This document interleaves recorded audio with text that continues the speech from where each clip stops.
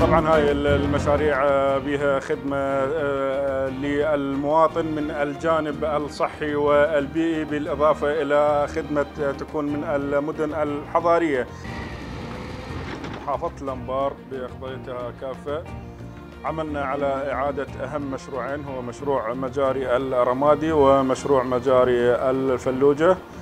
بدأ العمل بمشروع مجاري الرمادي في الطرق التي تحتاجها التي أحيلت لغرض تبليطها من قبل المحافظة والبلدية وباقي المنظمات من ضمنها صندوق الإعمار.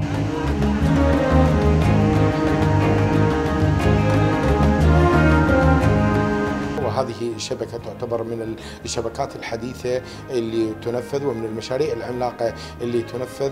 كانت المشاريع اللي موجودة سابقا هي مشاريع صغيرة ووقتية لكن هذا المشروع يعتبر مشروع استراتيجي وكبير لمحافظة الأنبار.